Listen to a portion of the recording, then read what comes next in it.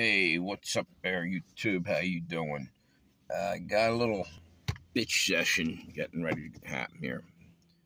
Uh, I wouldn't call it a bitch session, just an observation, more or less, and wondering why it is what it is right now.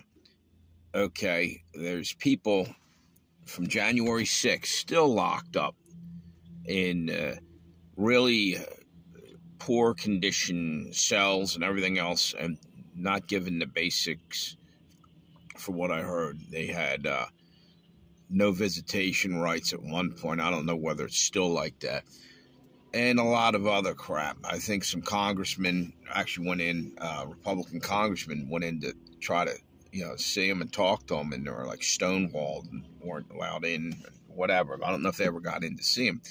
Where I'm going with this is at the same moment, shouldn't it be the giant, uh, the uh, not the January 6 people in jail cells?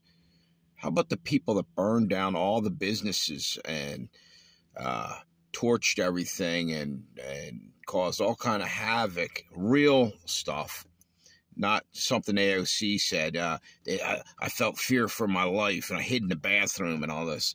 No, I'm talking about the people that burned down cities. You know the uh, BLM thing, and they one of them doing. It. Matter of fact, I think they paid them out. They gave them some money for doing that. What the hell's wrong here?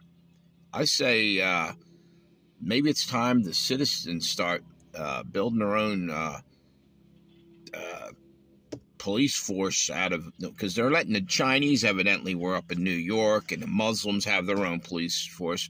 I think it's time, you know, somebody ought to start wearing a star on their chest. You know, shar- new sheriff in town.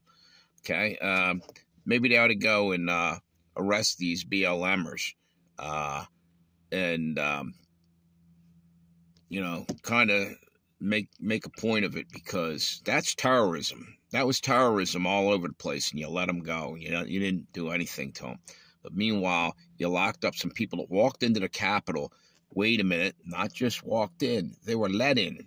There's film footage now coming to surface that they open the doors and let them people walk in. It's a setup, and uh, time for it to come clean and just do something about this. This, this is wrong.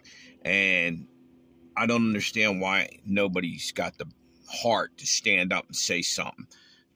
Men still sitting in, and men and women still sitting in jail down in there for that January 6th thing. That's a crime. Let them out already. Have a good day, YouTube.